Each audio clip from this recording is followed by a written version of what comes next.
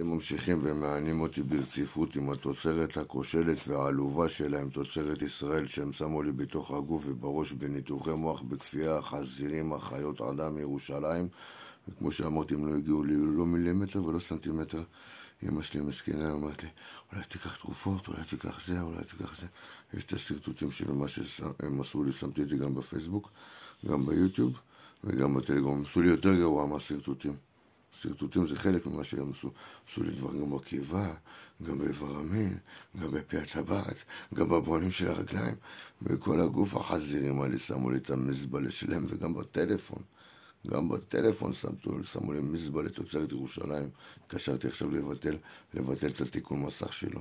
כמו איזה חמור, רציתי לשים 450 שקל על, המסך של הטלפון מזבלה תוצרת ירושלים, שכל דבר צריך לעשות בו עשר פעמים ושום דבר לא מגיע לאף מקום.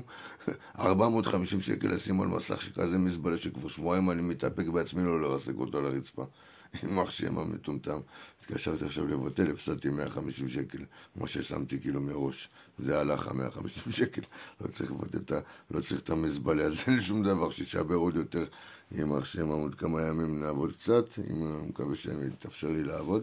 אני רוצה לקנות טלפון אחר, גם לא רוצה להשתמש בחברת שיומי בכלל. אז זהו. אז השעה שבע ושלושים.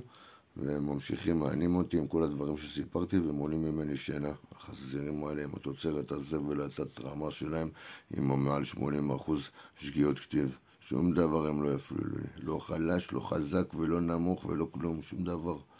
אז הם ממשיכים גם עכשיו.